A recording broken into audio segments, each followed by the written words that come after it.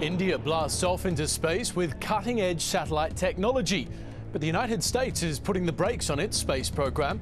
So, is there a new space race? And if so, who's winning it? This is Inside Story.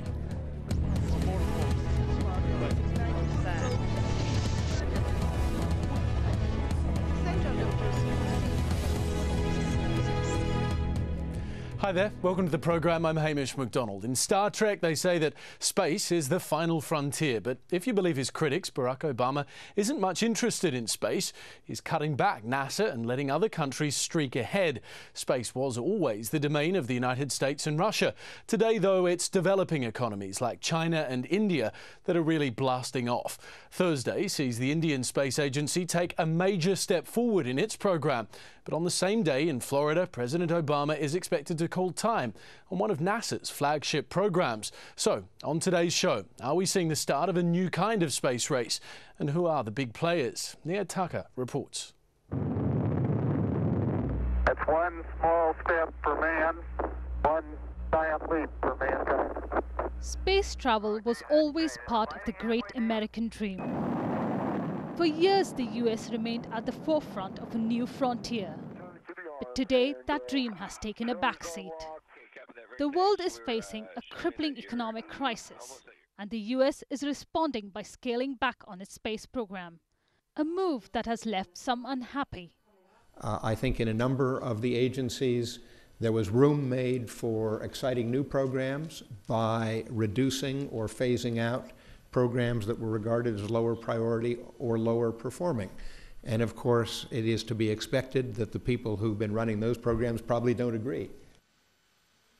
As Obama announces his plans for NASA on Thursday, India is getting ready to launch its first satellite powered by a cryogenic rocket. It's a technology previously denied to them. After two decades of research, India is launching with a bang. Three, two, one, zero. Plus one. Yes. Plus two. It's a landmark mission for India, pegged to make the country completely self reliant in space travel. If successful, it will join an elite club of nations, including the US, Russia, France, Japan, and China. But India is not the only developing country making it to space. Brazil and Malaysia are not too far behind. Both send manned rockets in recent years. With such countries pouring money into space technology, aiming for the stars is no longer just the American dream. Lift off normal. Neha Tucker for Inside Story. Well, that's where we'll begin our debate today. Joining us from New York is Don Eyles, a former NASA engineer who worked on the Apollo 11 mission to the moon. In New Delhi, we're joined by Pallav Bagla, the science editor at India's NDTV. And Lord Christopher Monckton joins us from Washington, D.C., where he's the Chief Policy Advisor to the Science and Public Policy Institute in Washington. He's also the former science advisor to Margaret Thatcher in the United Kingdom. All right, let's start in our, with our guest in New York, Don Eyles. You were critical of the Bush administration and its policies with regards to NASA, saying that their proposals were speculative and they cost uh, enormous amounts of money. You must therefore be quite happy to see Barack Obama taking the steps that he's taking now. I would be happier if the United States had a vigorous, strong space program, uh, but I think it's wrong to say that we had that under the previous administration. We had ambitious goals, but there was never adequate funding for those. And so, at least with the Obama program, we have an honest space program, and perhaps we can build from there and uh, see the, uh, the, the days of real important exploration again resume after, after a lull. But you think it's the right thing to do right now? Uh, I think President Obama was faced with the choice of giving major new resources to NASA to support promises that were made by other people, or to look at the picture again and to perhaps shuffle the deck. And I think he did that. Uh, I think, in a sense, the United States will be a, uh, a number three in space for a period of time because both the Russians and the Chinese retain a manned capability, and we will not have that back for at least seven years, probably. Uh, but that seven year gap during which we'll be dependent upon Russian spacecraft to reach the space station, that already existed. That's not something that's being created by the Obama policies. It already existed. And I think this law gives a reasonable chance uh, to commercial companies to provide a transportation capability, a manned transportation capability to Earth orbit, uh, which is something that had to happen at some point in the evolution of space travel. And I think now is perhaps the right time to do it. Uh, I applaud one feature of the Obama plan particularly, which is the decision not to abandon the space station after only five years of completed operation. All right, uh, let's go over to uh, Lord Monckton. You've been critical of Barack Obama, but as we just heard there, it's not really his fault. Well, I think it's very difficult for an incoming president faced with the economic circumstances he did face but he made, I think, a mistake by retasking NASA in the stimulus package as being chiefly a climate change monitoring agency rather than a full-blown space exploration agency. And he's therefore compounded the errors of previous administrations in not making sure that a manned capability was retained when the shuttle reached, reached the end of its useful life. But what, sorry and to interrupt, but why, why is that a mistake? Climate change is probably the single biggest threat facing the planet today. It has long been said that we're interested in space because of energy needs. Surely it chimes well uh, with the mission of NASA uh, to include climate change as well. I think to include it is fair enough. Uh, that's if you think that climate change is a, a major short-term problem, which uh, I don't and a growing number of scientists don't. But um, I think the, it has distorted the funding pattern for NASA. And one of the things that I'm expecting President Obama to do in his announcement tomorrow is to announce major new funding for the space aspects of what NASA is doing, the exploration aspects, and perhaps even lay the foundations for our first reach out to Mars. All right, uh, let's go over to Pallav Bagla in India because essentially this is where the developing world comes in. This is an enormous opportunity, is it not, for countries like yours? Oh, it is indeed an enormous opportunity, and India is casting its net wide. The launch, which will happen tomorrow, is a landmark launch. For the first time, India will put a, GS, a geosynchronous satellite in its orbit using a completely Indian made vehicle. It also is a smack in the face of America because this was the technology which India needed in the 1990s and was denied by Americans putting pressure on Russia. So when India does it tomorrow, it really shows end-to-end capability for the Indian space program, at least in the space launch market. Don Eyles, is this a smack in the face for America, India uh, launching off into space with the technology, the very technology that you denied it? Uh, I don't see it as a smack in the face, and I don't know enough about the old history of that denial to, uh, to either defend it or uh, condemn it. But I congratulate the Indians on this upcoming launch and the, uh, the uh, anticipated success of their new cryogenic stage. Do you think the reality is, though, that the U.S. has to cede its supremacy in space to other countries today? Uh, there have been lulls in the past in the American space program, and you could argue that during those lulls uh, we were we we sacrificed our supremacy. I think this is a long-range sort of decision. Uh, I believe the commercial world will rise to the occasion and will provide a capability. Uh, and I also believe that there is a focus in the Obama space program on objectives beyond Earth orbit. In fact, my understanding is, uh, perhaps this awaits tomorrow's speech, that the uh, development of the heavy lift capability, which is necessary to support missions away, missions beyond Earth orbit, that that's actually being accelerated a bit in the Obama program. Okay, but so you, sorry to interrupt think, you, but uh, I mean, you wrote recently in an essay that you thought that the U.S. manned space program was, in your words, dead in the water. That doesn't sound like a lull. I wrote that in 2005, and uh, that's how I saw it at the time. I see this as being a uh, almost a catharsis, sort of a return to basics, a return to honesty, and so I'm uh, somewhat more optimistic today than I was then. Lord Monckton, isn't it true that NASA and the US space program needs to get with the reality, ha have a better relationship with the public and show the public what it's doing and what all of this money is producing for the general population? That's a very shrewd point, and I think uh, one thing one could look at is the launch capability that uh, was mentioning a moment ago, and so was Don Eyles. The problem is that the gravity well of the Earth is very considerable. And the methods that have been used up until now of overcoming it have been much more expensive than they need to be. I mean, one looks at commercial enterprises like Virgin Galactic, where they're going to be able to piggyback a small spaceplane on a conventional aircraft to get it up to the upper troposphere. The spaceplane then kicks itself into orbit from there and can do a controlled descent which means you don't have to have these complex heat shielding tiles that the um, space shuttle has had to have. This is going to greatly reduce the cost of getting into space and also increase the safety of getting into and back out of space again. And I think that what we're now going to see is that because NASA has been, to some extent, a rather clunky, nationalized industry, using endless dollops of taxpayers' funding and therefore not having to think out what is the most cost-effective solution, the contribution of commercial enterprises in the United States and elsewhere in the Western world to try to keep pace with the pace setters who are now China and India. And I too congratulate India on tomorrow's launch and pray that it goes as, as well as we all hope.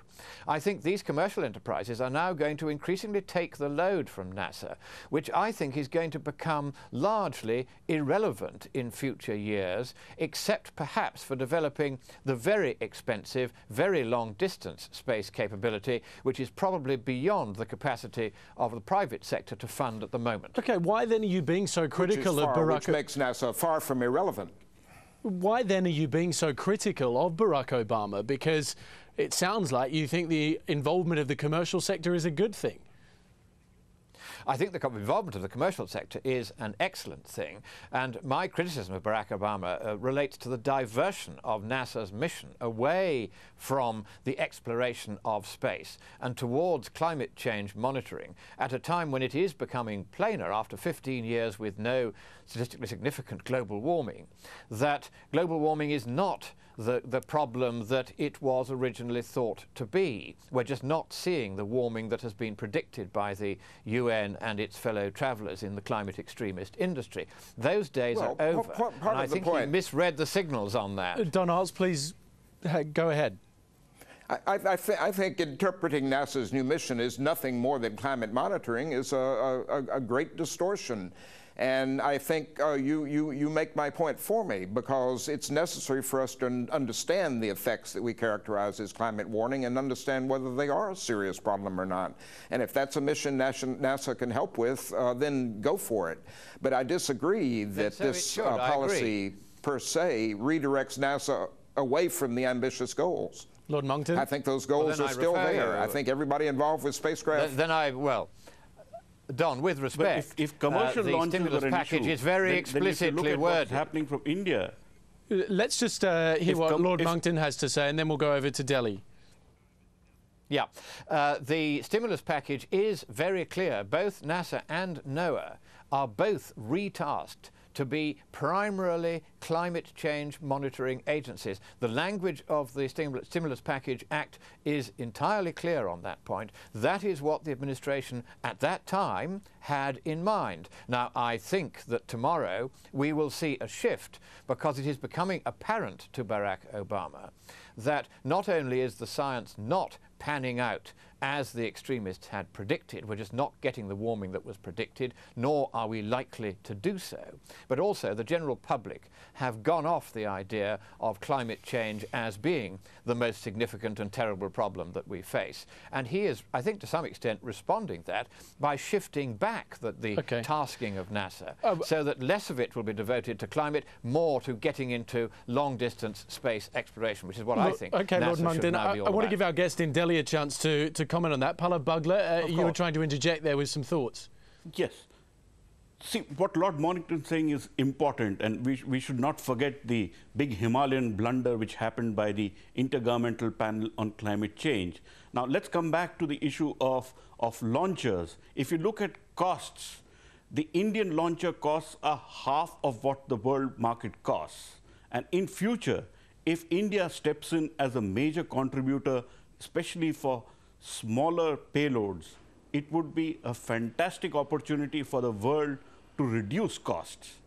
Also, one has to see, just yesterday, the Indian Space Research Program chairman told me that India is going to be launching its human space flight program in the next seven years, which means launching two humans into a low Earth orbit in the next seven years. While all this is happening, India is not forgetting looking at issues of climate change, trying to find water not just on moon as the Indian mission Chandrayaan 1 did, the maiden mission to the moon, but also trying to find water for agriculture, for people, the poor people in India. So the focus in India, in the Indian Space Research Program, is strongly both look at interplanetary missions, look at remote sensing and opportunities on the Earth, but access to space will always be decided by national priorities, and India does not want to lose that focus.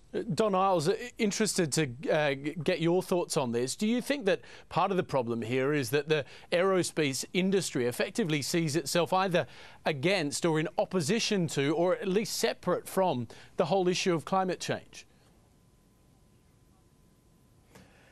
Uh, I don't think that's necessarily so. That that that that may be. Uh, I think those industries have a part to play in the in the climate change issue, if if in fact uh, technologically oriented steps need to be made.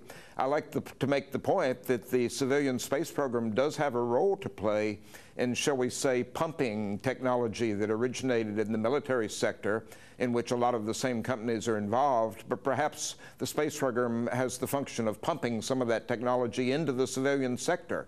I think that's one of the great things about the space program, uh, that the creativity, the enormous creativity that's gone into the making of weapons systems, uh, which by, by itself, that drain on creativity has done harm to the space program and to the nation, uh, that the space program can help uh, correct that tendency. Uh, but doesn't it make Can NASA comment and other uh, space? Sorry, just just to get one more uh, question though to Don Eyles, if I can. Doesn't it make NASA and space programs more relevant if you do connect it to an issue like climate change? Isn't it ultimately quite a smart thing uh, what Obama is doing now? I think that is smart, and uh, I also think uh, that the point you've made indirectly is that it does depend upon the public sentiment. If the public sentiment were there for funding a very ambitious government-run space program uh, a la Apollo, then uh, I believe we would have that program. But I don't see that sentiment there. It's only now with this Obama uh, issue, this Obama new Obama space plan, that people have become conscious of the fact that we're going to be dependent upon Russian Soyuz spacecraft, a very old spacecraft, to reach the space station. But that's been a perceivable fact now for you know five or more years. All right, Lord Monckton, I think you were wanting to say something. Then go ahead. Yes, very briefly, on the strategic side of this, I think the United States, over several administrations, has made the mistake of allowing this gap in manned missions to arise. And I don't blame the president, current president, for this. He was landed with this situation when he took office. But it is serious that America can't get men up into space to adjust their military satellites, for in instance, and the fact that they've now got to depend on countries such as Russia, with whom uh, relations can still be rather frosty, is clearly something of major concern. And my own opinion would be that they should, in the United States, take very good care to make sure that this gap in manned capability is as short as possible. And perhaps if India is willing to share her technology for doing the uh, launches at half the price that NASA can do them for, uh, even though America has not always shared technology with India, perhaps that will help NASA to get uh, men back into space so as not to lose the strategic capability. Much of my time uh, working with the United States when I worked for Margaret Thatcher was on the Strategic Defence Initiative, and it became quite clear that just by putting satellites into space and not putting men there, some pretty horrifying mistakes could arise. At one point, they tried to bounce a laser off a satellite, but they'd programmed the height of the laser above the ground as 10,000 miles instead of on top of a mountain at 10,000 feet, and the laser not surprisingly, completely missed And they need to have manned presence in space, and I think from now on a continuous manned presence in space to maintain full security, and I don't see that happening at the moment. Pallav Bagla in Delhi, is that a realistic scenario? I, I, Oh, it definitely is. India is committing major resources to the tune of several billion dollars for a manned space program. And, and they don't call it manned, they call it a human space program. So, because India Right. is investing very heavily and looking. But, but my question is, is it, is it, is it a realistic scenario whereby the United States might effectively outsource some of its uh, space taxi services, if you like, uh, to India? Well, India certainly would be very happy to do that if that happens. Now, what is the option in front of America? The, the, the space shuttle is going to be retired soon. You're left with the Russians or the Chinese. And in a few years from now, the Indian program would come up. Obviously, the Chinese would not be a very, very viable option for the, for the Americans to go that route. So the option would be to come to India at some point. And last, when I interviewed the administrator of NASA, I had asked him, will India and America be willing to go to the moon together? And he said it, would, it could be well a possibility in the future that they could join hands and undertake missions to the moon. All right, Don Eyles, you worked on the Apollo 11 mission. I guess of all of us, you've been uh, the closest to space. So maybe I can give the final thought to you. What do you think about that scenario? The US effectively uh, scaling down its own operations and and uh, outsourcing it to other countries. Do you think that might happen in the future? Uh, I think there's certainly a potential for that. We're outsourcing launch services to Russia right now, or we're uh, anticipating doing that. Uh, American astronauts have traveled to space in the Russian Soyuz, and I see no reason why, uh, when it becomes sufficiently mature, uh, we could not send astronauts to the space station or to low Earth orbit in an Indian spacecraft. I see no contradiction there. Uh, back to a previous point, and perhaps this, this touches on the Indian question also, I agree uh, that it's very important that the administration be energetic in fostering the commercial efforts that are going to get us back a uh, Earth orbit capability. I think that's very important. I think the fact that that development is gonna, not going to be intimately led by NASA uh, doesn't alter the fact that the government does need to be involved as a stimulator and as a monitor and as a, uh, a means of transmitting uh, to the commercial world the lessons that have been learned by NASA. All right, excellent. We'll and have that, to in leave it. fact, is one of NASA's Bang- uh, historic Bangalore may roles. get a new term if, Right. you, if you look at it. Okay, well, we're going to have to leave it there. It's a fantastic discussion that we're having here today. All right, well, thank our guests for joining us on this edition of Inside Story. In New York, Don Eyles, a former NASA engineer. In New Delhi, Pallav Bagla, the science editor at India's NDTV. And from our Washington studio, Lord Christopher Monckton, a former advisor to Margaret Thatcher. A fascinating debate, gentlemen. Thank you very much for your time. And thank you for joining us on this edition of Inside Story. As always, we welcome your comments and suggestions. Email them to us at insidestory at aljazeera.net. From me and the whole team here at Inside Story, we'll see you next time.